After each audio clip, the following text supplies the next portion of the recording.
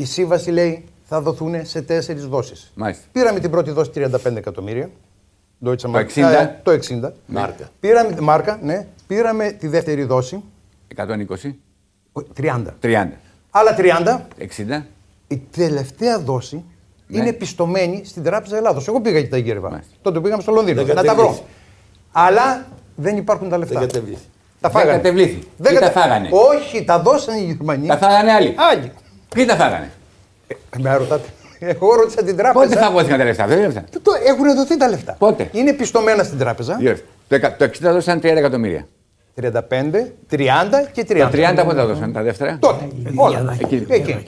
Και λίγο μετά τα 35. Είναι πιστωμένα στην τράπεζα κανονικά και δεν δεν υπάρχουν τα έχουν λεφτά.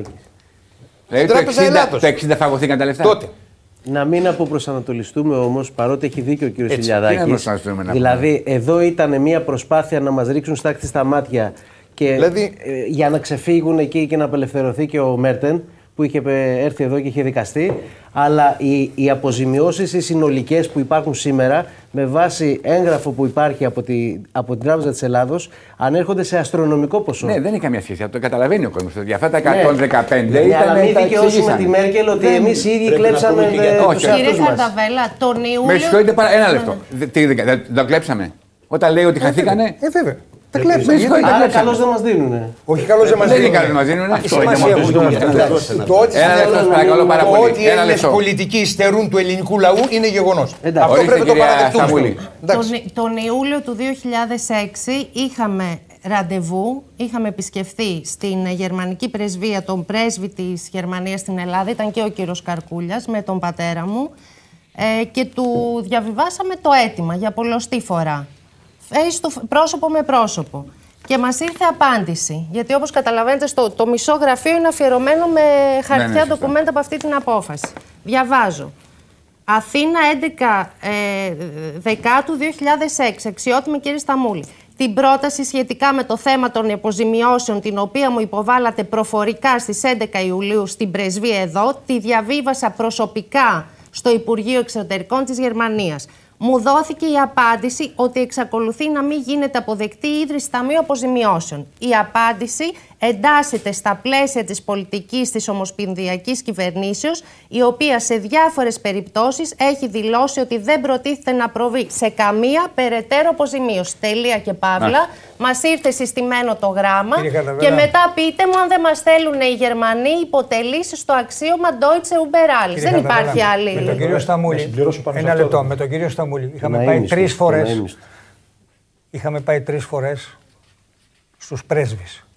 Γιατί; Όχι, μου πείτε γιατί, τι έγινε, πέστε μου. Το Θα σας γιατί. πω, Θέσαμε εννοείται. το θέμα. Μας είπαν οι Γερμανοί ότι αν σας δώσουμε εσά Ε, λεφτά. ένα λεπτό πριν προχωρήσουμε. Τέτοιες απαντήσεις ένα λεπτό, σας έχουμε; παρακαλώ Για πάρα να- πολύ. Είσαστε 8 άνθρωποι. Πρέπει να μιλάμε πάρα πολύ γρήγορα, Ναι, πάρα ναι, πολύ έχετε σύντομα. δίκιο. Διότι δεν θα έχουμε ώρα. Έχετε δίκιο. Μας είπαν οι Τελειώνουμε. Γερμανοί λοιπόν ότι εάν δώσουμε σε εσάς θα ζητήσουν όλοι. Εγώ Θα λοιπόν ανοίξει ο με ασκός τον του κύριο αιώλου. Σταμούλη, Αυτό είναι με τον το κύριο πρόβλημα. Σταμούλη τους προτείναμε κάποιες λύσεις. Τους είπαμε να ανοίξουμε μία γραμμή στην Ευρωπαϊκή Ένωση, έτσι μια line, έτσι λέγεται, και να μας δώσουν χρήματα από εκεί προς τα θύματα. Αυτά τις... Και τι έγινε; Αυτή ήταν η απάντηση. Μάλιστα. Ορίστε. Εγώ θα σας δώσω, ε, για να ε, πληροφορήσουμε τους τηλεθεατές σωστά, την τελευταία απάντηση της γερμανικής κυβέρνησης, του Σόιμπλε, ε, σχετικά με τις Πότε, αποζημιώσεις. ημερομηνία παρακαλώ. Ε, 15 Δευτέρου. 15 Η τελευταία. Δευτέρου, τώρα. Τώρα. Μάλιστα.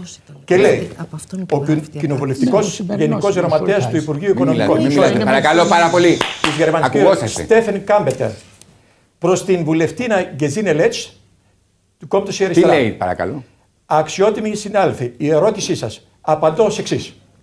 Απάντηση στην ανοιχτή επιστολή των 66 Ελλήνων αντιστασιακών δεν προβλέπεται. Πρώτα απάντηση στους 66. Η απέτηση για την επιστροφή του αναγκαστικού δανείου των 3,5 δισεκατομμυρίων δολαρίων στην Ελλάδα είναι γνωστή στη γερμανική κυβέρνηση. Τελεία. Στην Ελλάδα έχουν κατά καιρούς γίνει αναφορές για τέτοιες απαιτήσεις που έχουν ως αντικείμενο το ανοιχτό θέμα του ποσού που προέρχεται από την μετατροπή του και κοστολόγησή του μετά την ε, επιβολή ενός σχετικού τόκου. Δεν τα λέει σαφώς. Παρακάτω, παρακάτω. Αυτό το αίτημα δεν αναγνωρίζεται από την ε, γερμανική κυβέρνηση. Πού είναι αυτό, πού είσαστε; Εδώ τώρα είναι το, αυτό το θέμα. Η απέτηση για την αποζημίωση στο ποσό των 7,1 δισεκατομμυρίων ευρώ δεν ανακοινήθηκε ως τώρα από πουθενά και δεν είναι γνωστή στην γερμανική κυβέρνηση. Άρα, Αυτό είναι λένε η τελεσίδικη ακριβώς. απάντηση. Απάντηση επίσης ότι δεν έγιναν ενέργειες Γιατί από την λέτε την ελληνική έξταλη κυβέρνηση. Λοιπόν, ένα λεπτό πριν προχωρήσουμε, παρακαλώ πάρα πολύ, γιατί θέλω πάρα πολύ να βλέπουμε και το υλικό που έχουμε συγκεντρώσει. Διότι αυτή τη στιγμή μέσα τα τηλέφωνα έχουν σπάσει. Βεβαίως σε, όλες, σε πάρα πολλές περιοχές της Ελλάδας, μην πω σε όλες τις περιοχές της Ελλάδας, γίνανε αυτά που γίνανε περίπου στο Δίστα. 55.000 ενάγοντες, 100 μαρτυρικά χωριά, καταστροφή.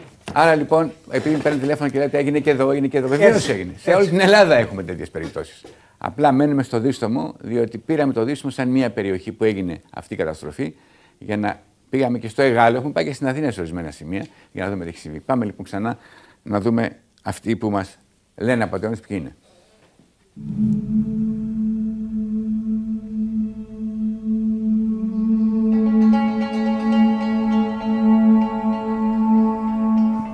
είδε ένα τετράχρονο αγόρι.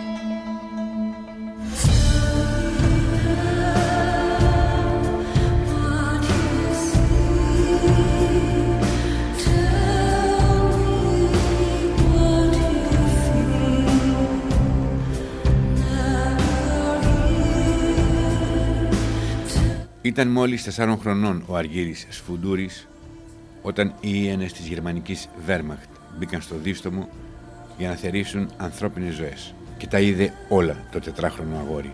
Και εκείνες οι στιγμές που τους φράγισαν όλη του τη ζωή ήταν η φλόγα δημιουργίας ενός ντοκιμαντέρ για τη σφαγή στο δίστομο που συγκλώνησε τον κόσμο μας πριν δύο χρόνια όταν προβλήθηκε για πρώτη φορά. Σάββατο 10 Ιουνίου 1944, εποχή θερισμού. Ξημέρωνε μια ακόμη μέρα δουλειάς και ελπίδας.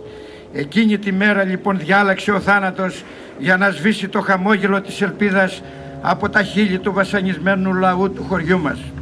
Οι Γερμανοί κατακτητές βλέποντας να φτάνει το τέλος της αυτοκρατορίας τους καταλαμβάνονται από αμόκ καταστροφής.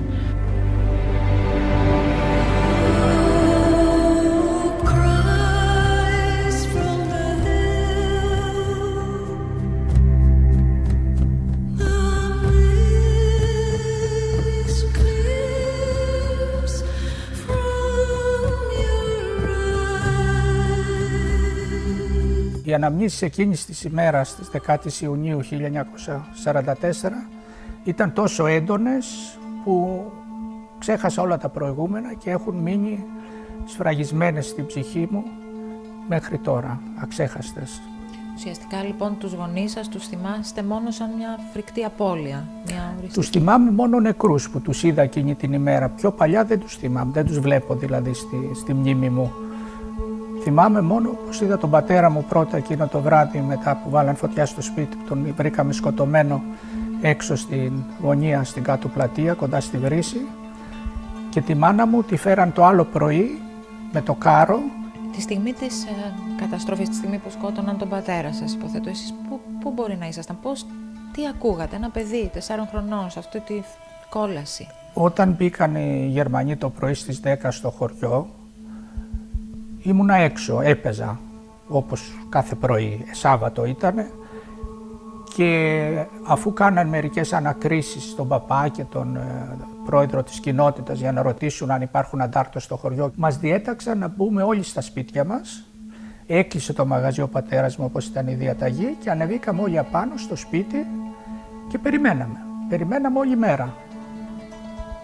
Στις 2.30 ξεκίνησε μια ομάδα Γερμανών στο διπλανό χωριό για να ερευνήσουν και εκεί αφού στο δίστομο δεν βρήκαν τίποτα και στα μισά τους είχαν στήσει αντάρτες εν έδρα στον Ελικόνα. Και σε αυτή τη μάχη που έγινε, που κράτησε αρκετές ώρες, δηλαδή από τις 2.30 μέχρι τις 4.30-5 κράτησε αυτή η μάχη, είχαν απώλειες οι Γερμανοί, 6-7 Γερμανοί σκοτώθηκαν και γύρισαν στο χωριό και ο υπεύθυνος αυτής της αποστολής από τη Λιβαδιά, ένας νεαρός ε, αξιωματικός, έδωσε εντολή να καταστρέψουν το χωριό. Και όπως έγραψε αργότερα στην ε, αναφορά του, ε, αν δεν το έκανε θα έπρεπε να ξαναέρθουν την άλλη μέρα για να κάνουν τα αντίπεινα όπως τα λέγανε και θα ξοδεύανε και άλλη βενζίνη για να έρθουν από τη Λιβαδιά στο δίστομο. Δηλαδή η βενζίνη τους κόστιζε και όχι οι 218 άοπλοι που εκτέλεσαν εκείνο το βράδυ. Your